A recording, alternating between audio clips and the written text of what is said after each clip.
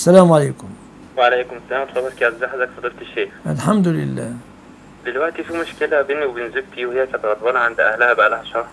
آه. وبعدين هي خرجت آه، من غير ما ما تقول لي ولا تعرفني. وأنا عرفت وما اتكلمتش وكانت مع أهلها وروحت بدري. بس آه، جيت في قابلتها في- وهي خارجة وكان الساعة 11 بالليل الكلام ده يوم ال يوم الاثنين الأسبوع اللي فات. ف وكانت مع أخوها الصغير يعني مش مع حد حتى كبير أو كده.